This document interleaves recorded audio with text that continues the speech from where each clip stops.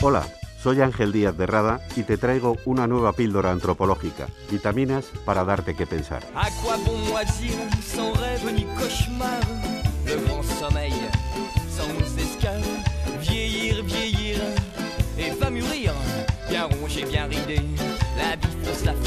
Signo es cualquier cosa que pueda considerarse como sustituto significante de cualquier otra cosa.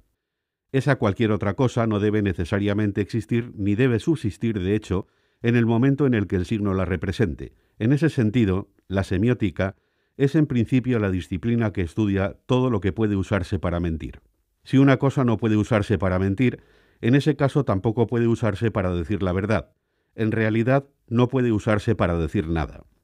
Son palabras de Humberto Eco en su Tratado de Semiótica General, publicado en 1976.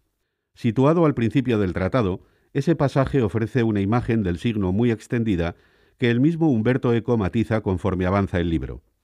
Pero hay que comenzar por esa imagen, porque tal vez sea la más cercana al sentido común, especialmente cuando se trata del lenguaje verbal. Es muy frecuente el impulso de reducir toda forma de signo al signo lingüístico y así fomentar la idea de que la semiótica se reduce a ciencia del lenguaje verbal. Y es que el lenguaje verbal es, desde luego, el medio semiótico más adecuado para mentir. En Sami se usa la misma palabra, yela, para decir lenguaje, lengua, habla, y para decir trampa. Usando la giela hablas y también cazas o pescas engañando a la presa. O como dijo el lingüista Alan Gardiner en 1940, el habla se refiere a cosas reales e imaginarias con una estricta imparcialidad. El lenguaje no ha creado formas para distinguir lo real de lo irreal.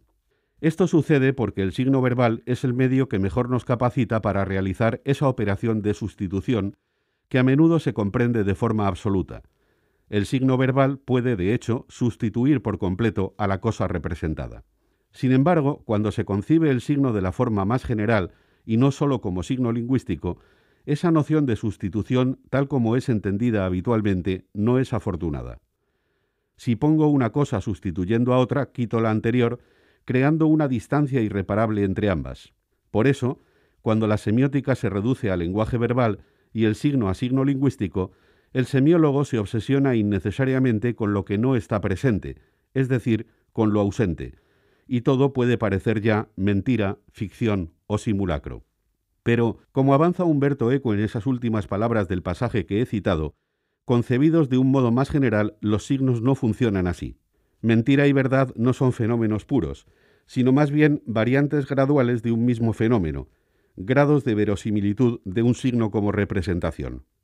De ahí se deriva la enorme complejidad de la mentira y la verdad, y los absurdos a los que conduce tanto una ciencia fundada solo en la idea de verdad absoluta, como un análisis que solo ve por todas partes simulacros.